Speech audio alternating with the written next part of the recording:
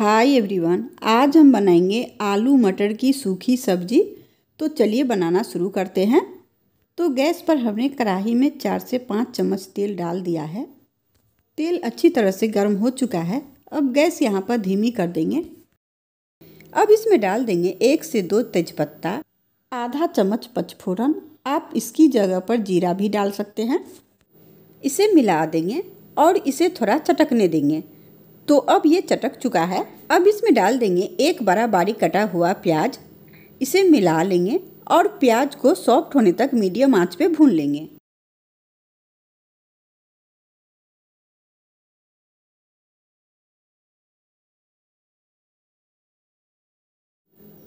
तो अब प्याज सॉफ्ट हो चुका है। अब गैस यहाँ पर धीमी कर देंगे। अब इसमें डालेंगे एक चम्मच लाल मिर्च पाउडर, आधा चम्मच धनिया पाउडर, आधा चम्मच से थोड़ा कम हल्दी पाउडर, स्वाद अनुसार नमक, आधा चम्मच भुना हुआ जीरा पाउडर और थोड़ा सा काली मिर्च पाउडर डाल देंगे। अब इसे अच्छी तरह से मिला लेंगे।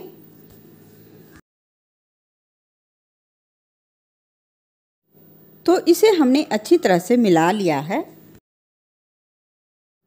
साथ ही इसमें डाल देंगे एक कटोरी हरा मटर। मिला देंगे और इसे धीमी आँच पे तीन से चार मिनट के लिए भून लेंगे। बीच बीच में चलाते हुए भूनेंगे। तो अब चार मिनट हो चुके हैं। अब इसमें डाल देंगे उबले हुए आलू। यहाँ पे हमने छः से सात उबले हुए आलू लिए हैं। आलू को हमने छीलकर छोटे छोटे टुकड़ों में तोड़ लिया है। इसमें डाल देंगे। अब गैस यहाँ पर मीडियम कर देंगे। मिला देंगे और आलू को मसाले के साथ दो मिनट के लिए भून लेंगे।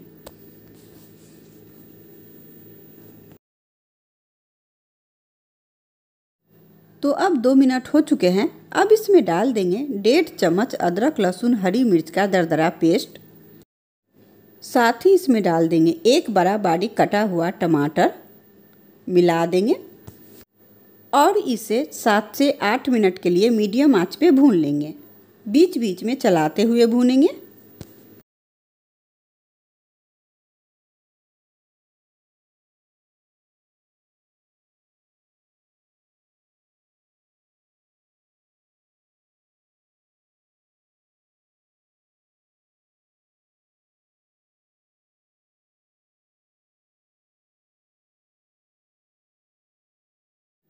तो अब सात से आठ मिनट हो चुके हैं।